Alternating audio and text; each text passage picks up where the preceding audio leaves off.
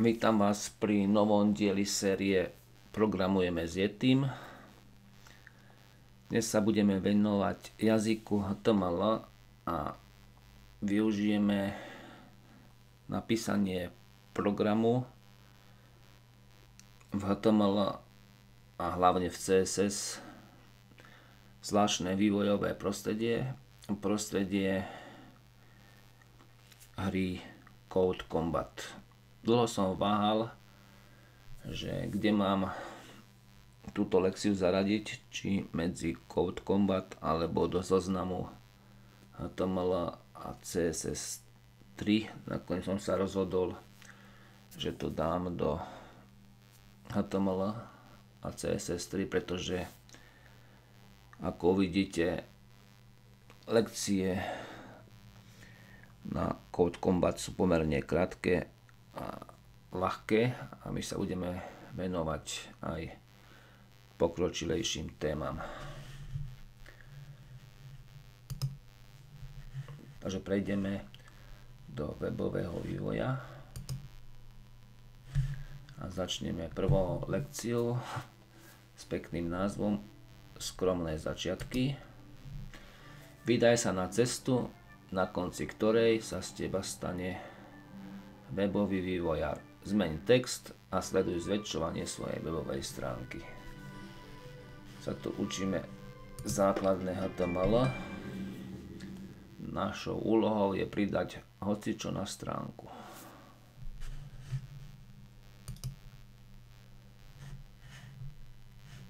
Tu vidíme, že modré riadky sú komentáre. Komentáre vždy začínajú takto vykričník a dve pomlčky a končia dvomi pomlčkami a samozrejme sú uložené v tagu.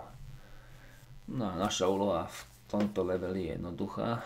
Napíš hoci čo nižšie a zmeň tak obsah webovej stránky. Tak napíšeme sem napríklad Maco ale nedopíšeme a už máme hotovú stránku. Takže skúsime to trocha ináč. Pridáme si sem nejaký odstavec. Odstavec má značku P od slova paragraf. No a ten odstavec môžeme nechať aj prázdny, prípadne sem dáme nejaké číslo 1. A teraz ideme robiť štýl toho odstavca. Takže použijeme značku style. No aby sme videli, kde ten odstavec začína a kde končí, použijeme vlastnosť border a jej hodnotu nastavíme na 1 pixel bude to pevná, neprerušovaná čiara. Čierna. Nedali sme značku, selektor, ku ktorému sa má tento štýl aplikovať, takže chceme to, aby to fungovalo pre odstavec. Takže počiatočná zátvorka, konečná zátvorka. A vidíme, odstavec nám zaoberá celú stránku v podstate. Tu sú nejaké predvolené štýly, ktoré nám bránia tomu, aby ten odstavec šiel úplne od začiatku až po koniec. No a teraz skúsime pridať ďalší odstavec. Textom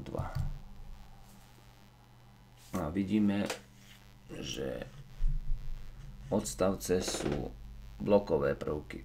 Zaoberajú maximálny rozsah a ukladajú sa pod seba. Skúsime zmenšiť šírku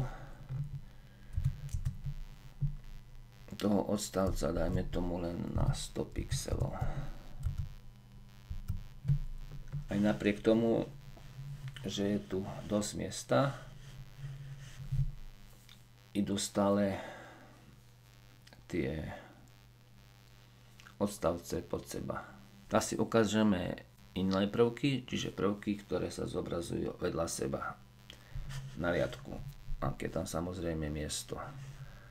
Takým inline prvkom môže byť, dajme tomu, obrázok. Tak. Dáme si obrázok. Využijeme tú obrázkovú galériu. Dáme si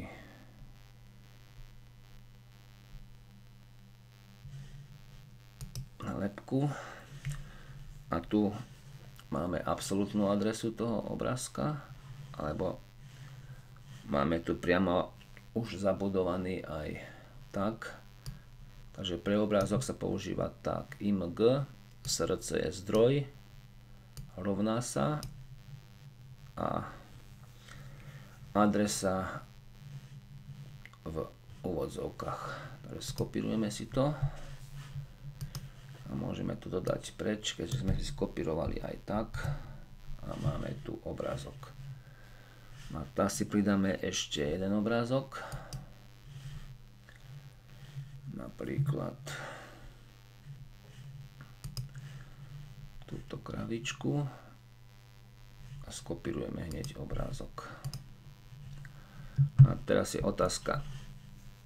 Zobrazí sa obrázok ďalší tá kravička pod touto lepkou alebo vedľa lepky. Vedľa. Pretože, ako som už povedal, obrázky sú inline prvky. Na rozdiel od odstavcov, čo sú blokové prvky. Blokové prvky zaoberajú vždy maximálny možný rozsah, aj keď ich šírku obmedzíme, aj tak sa dávajú pod seba.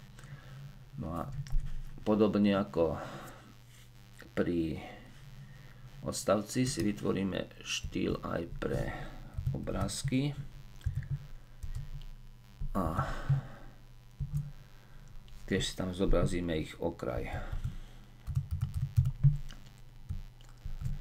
Tiež dáme jeden pixel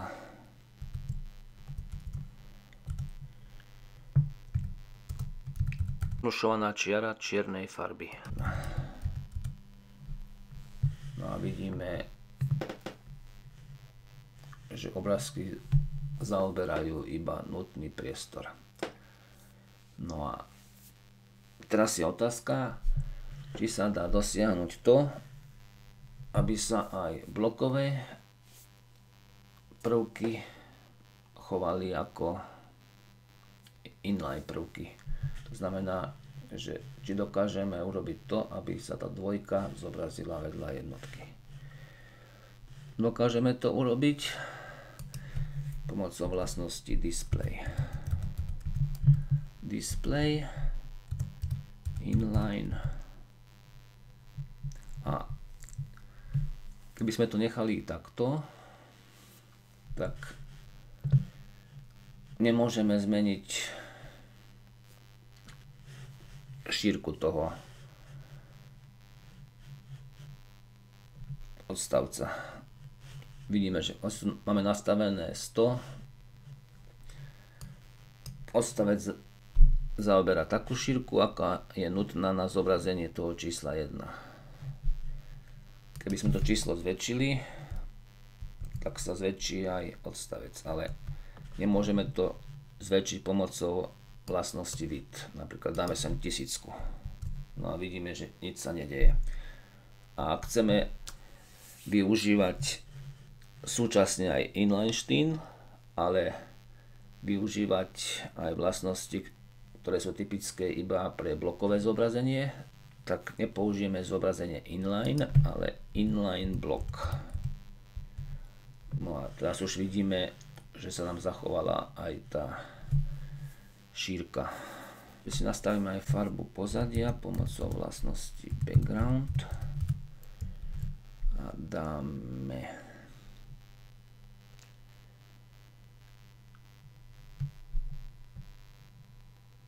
vlastnosť red. Ak by sme chceli dostať to číslo viacej od kraja, tak použijeme padding. Padding, dajme tomu 30 pixelov. Ale my to urobíme tak, že chceme mať v podstate prázdne červené štvorčeky, tak vymážeme jednotku, vymážeme dvojku, ale pretože nemáme určenú výšku, tak sa nám urobí len rovná čiara. Tak určíme ešte aj výšku a chceme to mať štvorček, tak dáme znova 100 pixelov. Urobíme si ešte animáciu a to takú, že keď ukážeme myšou na hoci z týchto štvorčekov, tak sa bude postupne ten štvorček meniť na kruh. Takže ideme robiť v podstate morphing. No a tá vlastnosť je prechod. Anglický názov je takýto. A dáme, že čo budeme vlastne animovať a budeme animovať vlastnosť menom polomer okraja border radius a budeme tú vlastnosť animovať počas, dajme tomu, 8 sekúnd. Vymážeme si najskôr tento text. a môžeme dať preč aj obrázky.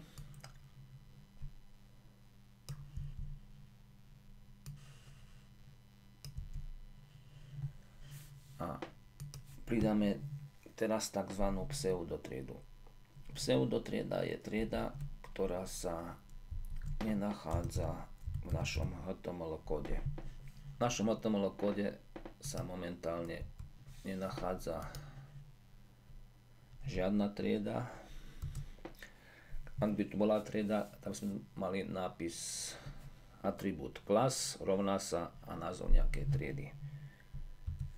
No a čo sa bude teda diať, keď ukážeme myšou nad náš odstavec, nad náš štvorec, tak budeme meniť to zaoblenie tých rohov a dáme to zaoblenie až na 50 pixelov. Môžeme si vyskúšať, či sa už niečo bude diať. Vidíme, že postupne sa mení štvorec až na kruh v priebehu 8 sekúnd. Zrýchlime to také 3 sekundy. A čo je to vlastne to zaoblenie? A prečo to pri 50 vychádza presný kruh? Tak máme šírku, výšku štvorca 100. No a 50-50 je vlastne presná, presný stred.